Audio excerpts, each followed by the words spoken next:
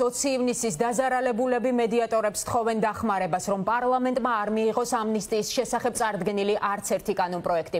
აქტივისტებს წერილი ევროკავშირის წარმომადგენლობასა და შეერთებული შტატების საელჩოში შეაქვთ. ეგრეთ წოდებული გავრილოვის ღამის დაშავებულები ამბობენ, რომ კანონპროექტებით, რომლებიც პარლამენტში უნდა განიხილონ, მათი უფლებები ილახება და შემდგომში სამართლებრივი ბრძოლის გაგრძელების პერსპექტივას დაკარგავენ. ჩვენი კორესპონდენტი გიორგი კვიჟინაძე გვერდება პირდაპირ ეთერში და გაგვაცნობს აქტივისტების მოთხოვნას გისმენთ გიორგი დიახ სალომე სულ ეს წუთია რაც აქტივისტებმა ევროკავშირის საელჩოში ჩააბარეს. წერილი ისინი მიმართავენ ევროკავშირის ელჩს და ასევე ამერიკის შეერთებული შტატების ელჩს კელი დეგნანს დახმარებისთვის რომ არ მოხდეს კანონ პროექტის მიღება ამინისტიის შესახებ რომელიც ქართულმა ოცნებამ უკვე დაარეგისტრირა.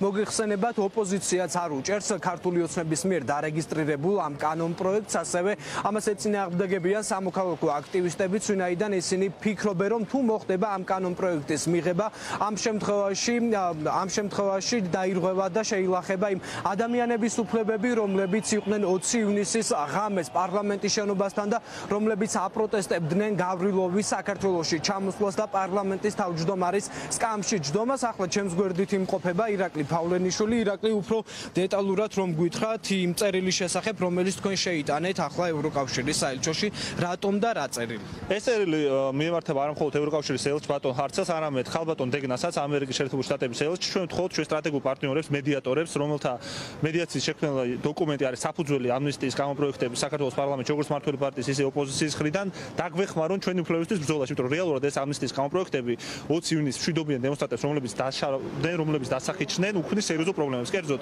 ჩვენ ალბათ აღარ შეგვიძლია სამართლებრივი ბრძოლის გაგრძელება იმიტომ რომ ძირითადი საქმეები სტრასბურგში და თბილისში არის აღძრული უფლებამოსილების გადამეტების მუხზე რომელთაც რომელზედაც საყოველთაო ამნისტია ვრცელდება ხდება და გარდა ამისა სახელმწიფო გარანტია დაცვისა და ჯანმრთელობის რეაბილიტაციის კურნალობა არის საფრთხის ქვეშ, იმიტომ რომ დაზავებული სტატუსი აქვს მხოლოდ 7 ადამიანს.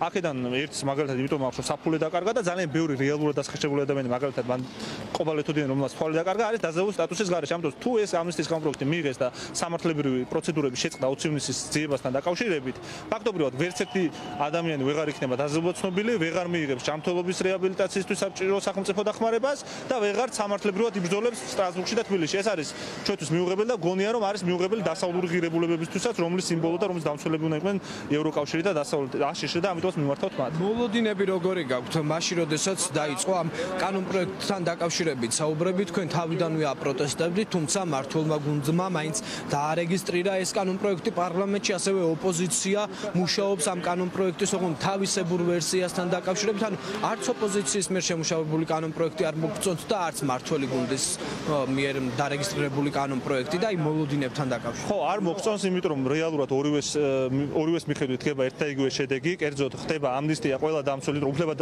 მოსელების გადამეტების ფაქტზე უნდა მოხდეს, თუ უნდა მოხდეს ვინმეს დასჯა, ოდესმე 20 ივნისის ღამის შესახებ, ოპოზიციის კანონ პროექტი გარკვეულ ჩამკეტებს შეიცავს, მაგრამ საბოლოო ჯამში მაინც არის არაპროდუქტიული, მაგალითად პოლიტიკური თანამდებობის პირებს არ ეხება ამნისტია, მაგრამ ვიცით რომ ბრძანების გამცემები იყვნენ ხშირ შემთხვევაში არაპოლიტიკური თანამდებობის პირები, როგორც უნდა ბიზნესმენში და აზორ ჩუბინიძე.